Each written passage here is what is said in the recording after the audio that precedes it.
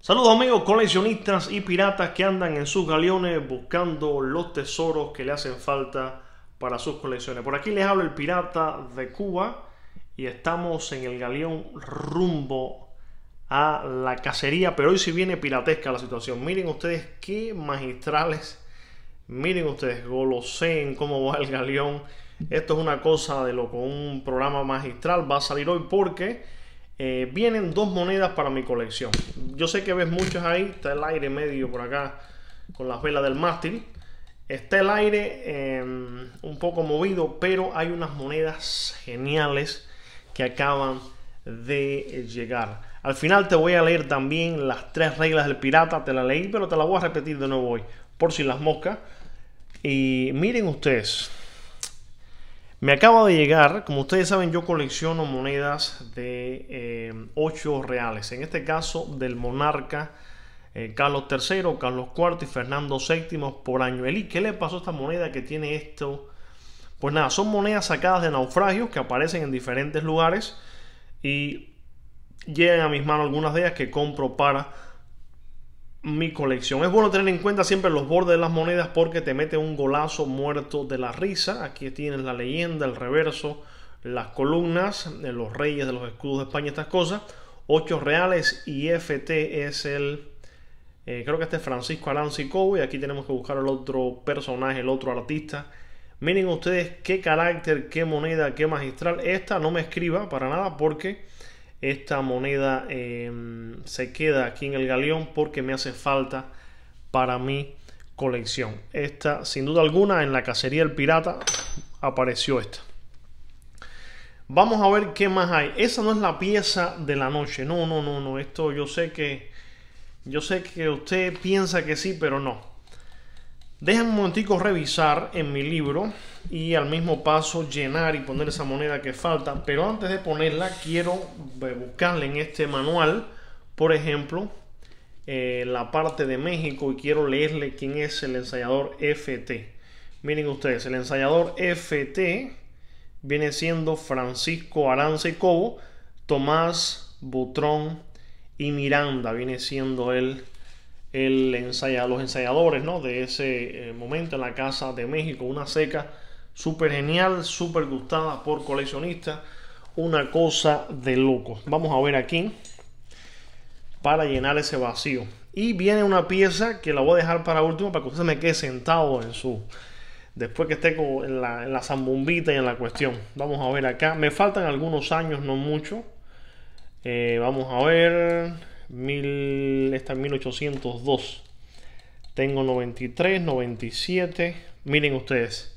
Si usted ve acá, se puede ver que tengo el hueco 1803, 1804. Y aquí hay una moneda que es falsa. El I falsa.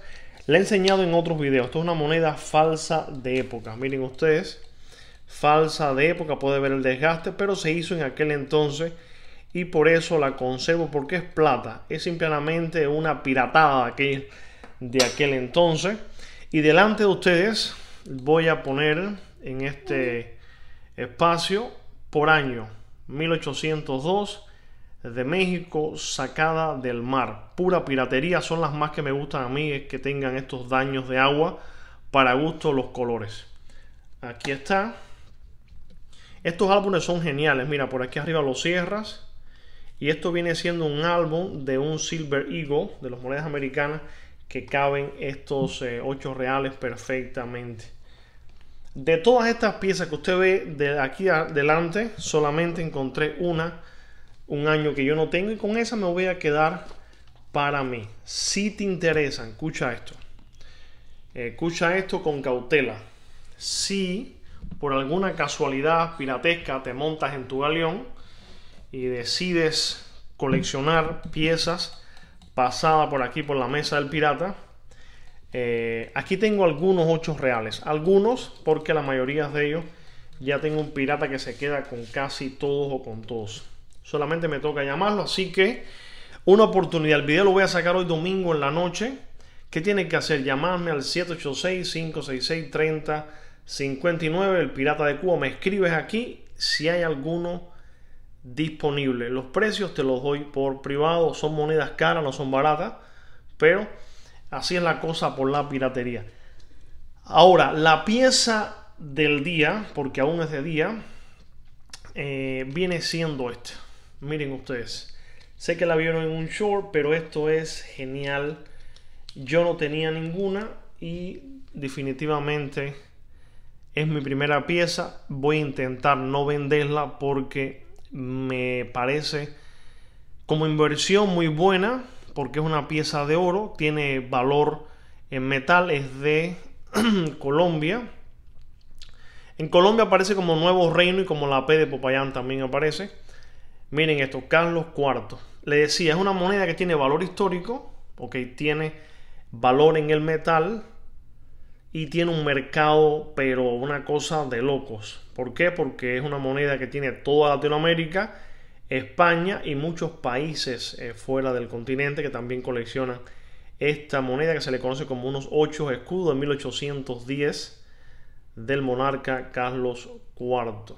Una pieza 8 escudos. Miren ustedes qué pedazo de pieza. Miren ustedes qué genial, qué magistral. Un poco de churra, eso yo no se lo voy a quitar, no me molesta para nada. Esto es una pieza piratesca y esta la voy a poner aquí en el, en el canal, aquí en una esquinita así. Va a estar presente alumbrando cada video. Entonces, pues nada, esta, si a usted le interesa, hay una que es de, de, Madrid, ¿ok? La de Madrid no la tengo conmigo, también está a la venta. El precio por debajo del precio que está en la plataforma de eBay y por ahí. Más o menos viene saliendo en unos 2400, 2000, no sé, por ahí más o menos está el precio. ¿Te interesa? No tengo foto, me puedes llamar también y a ver si todavía está disponible el mismo hombre que me la vendió. En el caso que sea así, pues nos ponemos de acuerdo, me pagas o te la busco y hacemos algún truco piratesco hasta que llegue a tus manos. Pues nada, esta es la moneda. Esto, con esto ya he dormido varias noches porque el oro uno lo toca y parece que es parte de uno. Esto es, miren ustedes qué, qué magistral, ¿eh? Piratas y en la busca de 8 escudos. Esto es una cosa eh, magistral, una posibilidad genial tener esto en las manos y compartirlo con ustedes amigos eh, piratas. ¿Cuántas cosas no se podrían haber comprado con esta moneda de 8 escudos? Un caballo, medio barco, no sé. Con esto se compraba mucho. No todo el mundo andaba con una moneda como esta en el bolsillo. Y esto lo hace ser una pieza súper, súper, súper buscada por coleccionistas serios, gente que sepa esto. Entonces, ¿qué más hay por aquí? Bueno, las reglas del pirata. Le voy a leer de nuevo, ténganme paciencia, vamos a, vamos a las reglas del pirata. Aquí está. Dicen las reglas del pirata. Eh, no reveles tu secreto, podrán ser usados en tu contra. Vamos a quedarnos con esa hoy. No reveles tu secreto porque podrán ser usados en tu contra. Con esta tenemos por hoy. Después leemos otro otro día porque más o menos así va la piratería. Pues nada, amigos eh, coleccionistas, yo sé que te llamó la atención, yo sé que, que se pone interesante esto. ¿Qué tú crees, Numismatic Channel? ¿Cómo está la cosa por allá, Barba, Barba Negra, el gran maestro? Saludos a Barba Blanca, por cierto, Barba Blanca. Yo sé que un video aquí de estas monedas, que él tiene tres o cuatro de ellas, súper geniales. Fueron las primeras en el canal y gracias a Dios me acaba de llegar la mía poco a poco, con paciencia, con paciencia, se pueden eh, lograr muchas cosas en la vida, pero siempre recuerde, no reveles tu secreto porque podrán ser usados en tu conta, te roban el mapa del tesoro. Así que nada, amigos coleccionistas, tu moneda, tu moneda, tu billete, tu baúl, tu cofre vale lo que está dispuesto a pagar otros por ella. Nos vemos en un próximo programa. Hasta la próxima.